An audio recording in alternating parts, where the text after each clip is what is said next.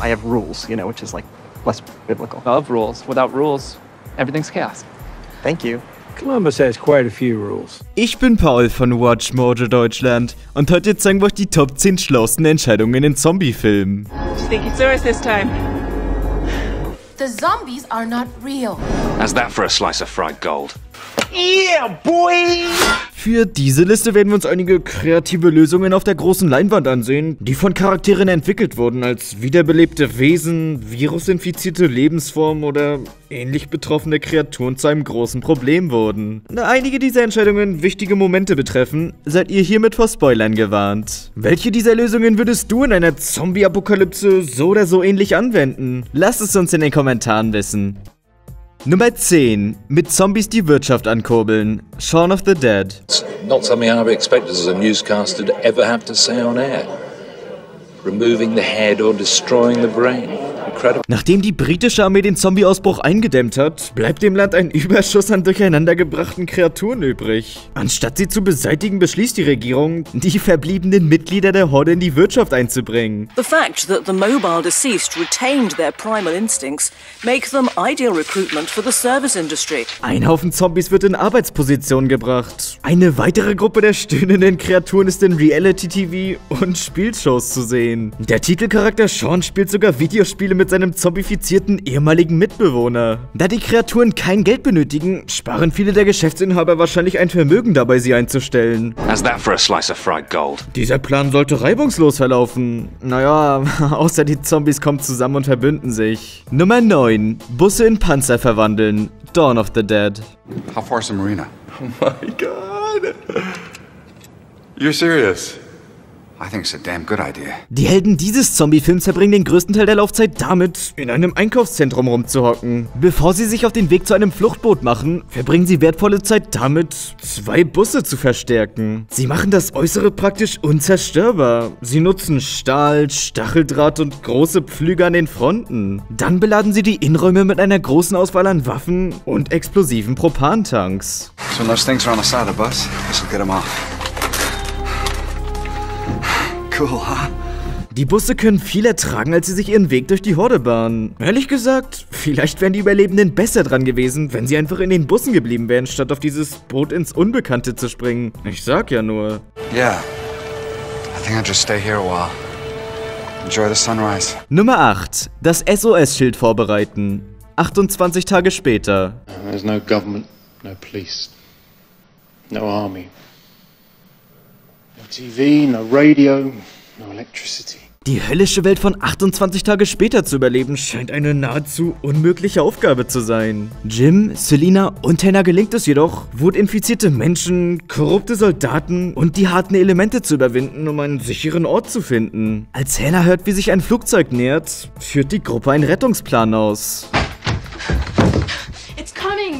Sie entfalten schnell ein SOS aus Vorhängen, die das Wort Hallo ergeben. Es war ziemlich klug von ihnen, eine vorbereitete Nachricht zu haben. Die Art und Weise, wie sie es angelegt haben, weist darauf hin, dass sie das Ganze schon vor einer langen Zeit vorbereitet und einstudiert haben. Hoffen wir nur, dass sie den Pilot überzeugt haben und dass er umgekehrt ist. It's serious this time. Nummer 7. Infizierte in einem Gebäude einsperren. Wreck. un Einige kluge Entscheidungen sind mit hohen Kosten verbunden. Die Protagonisten von Wreck mussten diese Lektion auf die schlimmste Weise lernen. Feuerwehrleute erhalten einen Anruf darüber, dass jemand in einem Wohnhaus gefangen ist und sie versuchen zu helfen. Leider ist die Frau, der sie versuchen zu helfen, mit einer Art Tollwut-ähnlichem Virus infiziert und greift sie an. Als sie alle versuchen, die Frau in dem Gebäude zurückzulassen, erfahren wir, dass Beamte sie eingesperrt haben.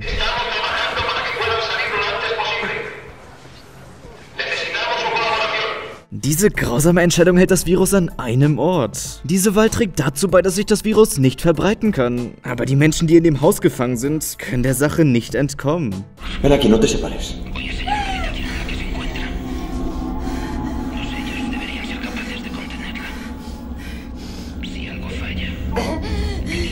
Nummer 6. Julie Zombie-Camouflage geben. Warm Bodies. I don't want to be this way. I'm lonely. I'm lost.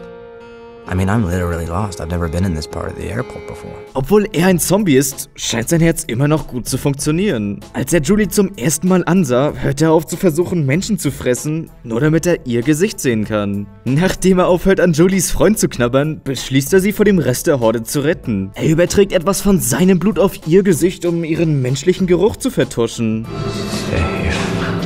Dies ermöglicht Julie, sich vor den Zombies zu tarnen, bis er sie an einen sicheren Ort bringt. Es ist ein ziemlich beeindruckender Gedankengang für eine Kreatur, deren Gehirn eigentlich nicht funktioniert. Der Tarnplan rettet nicht nur Julies Leben, sondern hilft auch zu beweisen, dass Zombies immer noch Menschlichkeit zeigen können. Why me? Why did you save me?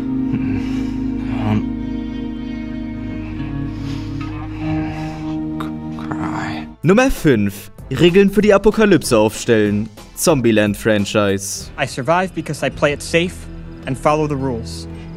My rules. Einer der besten Running Gags in diesem Comedy-Horror-Franchise ist die langsam wachsende Liste von Überlebensregeln. Columbus erstellt und befolgt eine Reihe von Richtlinien, um ihn in dieser gefährlichen Welt zu schützen. Er empfiehlt den Überlebenden, die Sicherheit von Badezimmern zu überprüfen, immer angeschnallt zu sein, Cardio zu trainieren und vieles mehr. Seine wichtigen Überlebenstipps helfen bei zahlreichen Situationen, Menschenleben zu retten. Und obwohl Columbus angespannt zu sein scheint, ist er bereit, seine Regeln zu ändern, wenn er mehr Erfahrung sammelt. And it had to be Wichita for me to finally understand that some rules are made to be broken. Zugegeben, er ist nicht der einzige Überlebende, der Regeln aufgestellt hat. Commandments? Yeah, just sort of guidelines for staying alive. I've got loads of them. Da Columbus aber am Ende der Fortsetzung noch am Leben ist, würden wir unser Geld auf seine Regeln setzen. Nummer 4. Stumpfe Zombie-Sinne ausnutzen. Train to Busan.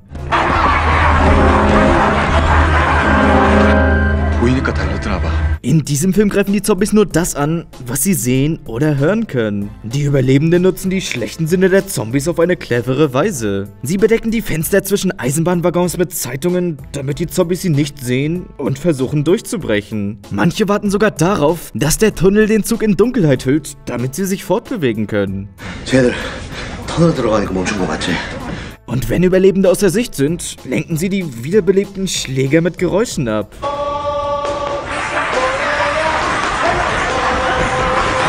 Leider schaffen es die meisten Passagiere nicht aus dem Zug. Aber es hätte eben überhaupt keine Überlebenden gegeben, wenn die Menschen nicht so viele kluge Wege gefunden hätten, die Sinne der Zombies auszunutzen. Nummer 3. Vorgeben, der Ausbruch sei ein Spiel. Little Monsters.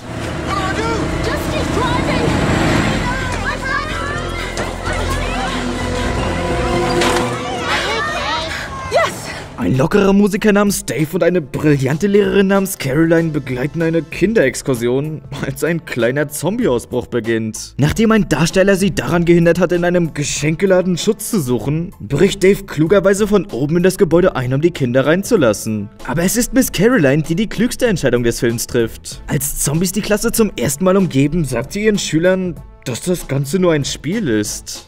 Who remembers how to play tag? Good. Well, those funny looking people out there are it. How do I go backwards? And we don't want to let the funny people touch us. Look, isn't she good at it? Diese Strategie ermöglicht es ihr, die Kinder ruhig zu halten und ihnen genau zu sagen, was sie tun müssen, um jede Phase des Ausbruchs zu überleben. Okay, sit down now. Good boy. Miss Carolines strategische Notlüge sorgt dafür, dass jeder der Schüler seine Eltern wiedersehen kann. Nummer 2. Eine Drohne perfekt nutzen. Hashtag am Leben. Hätte der Protagonist dieses Films sein Geld in eine Playstation statt eine Drohne investiert, hätte er diesen Film nicht überlebt. Nachdem er während einer Zombie-Apokalypse in seiner Wohnung gefangen ist, wird das kleine Flugzeug zu seiner besten Ressource. Er benutzt die Drohne, um sein Telefon hoch genug zu bringen, um Empfang zu bekommen. Als er am Rande des Hungers steht, baut er eine direkte Nahrungsleitung zu Kims Wohnung auf, indem er eine Schnur in ihre Wohnung fliegt. Er benutzt sie sogar, um einen Zombie daran zu hindern, an einer bewusstlosen Kim zu kauen. Obwohl die Drohne vor dem Höhepunkt zerstört wird, wird John Woo am Ende des Films trotzdem gerettet. Warum? Weil er klug genug war, seine Adresse und ein SOS auf Social Media zu teilen. Bevor wir nun fortfahren, vergesst, nicht den Kanal zu abonnieren und die Glocke zu aktivieren, um kein Video von Watch Mojo Deutschland mehr zu verpassen. Nummer 1. Tödliche Krankheiten initiieren, um unsichtbar zu werden. World War Z. Jerry, where are you? On the last flight out, listen, my phone is dying. I need some quick intel. Gotta locate the closest medical research facility, a CDC, a WHO, something that uh, makes vaccine. Jerry Lanes verrückte Beobachtungsfähigkeiten könnten ihn zum intelligentesten Menschen machen, der jemals in einem Zombie-Film aufgetreten ist. Nachdem er beobachtet hat, wie lange es dauert, bis sich die Leute verwandeln, entfernt er die gebissene Hand eines Lieutenants, bevor dieser infiziert wird. Aber das ist noch nicht mal seine beste Beobachtung. Er bemerkt, dass Zombies Menschen mit unheilbaren Krankheiten nicht angreifen. I have witnessed them literally bypass people. Walk right around them like a river around a rock. Why? I think because those people were sick. Nachdem er sich eine tödliche Krankheit injiziert hat, wird er für die Horden praktisch unsichtbar. Garys Entdeckung wird auf der ganzen Welt verbreitet. Während einige Leute sich nur tarnen, um Kämpfe zu vermeiden, nutzen andere ihre Unsichtbarkeit, um die Zombies auszulöschen. The initial tests of the so-called camouflage have been largely successful. Jerrys brillante Idee hat der Menschheit vielleicht den Vorteil gegeben, den diese brauchte, um World War Z überstehen zu können. Be prepared for anything.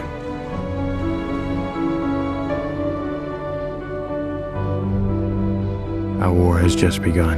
Stimmt ihr unserer Liste zu? Lasst es uns in den Kommentaren wissen. Schaut euch auch diese Videos von Watch Mojo Deutschland an. Und vergesst nicht den Kanal zu abonnieren und die Glocke zu aktivieren, um kein Video mehr zu verpassen. Bis zum nächsten Mal.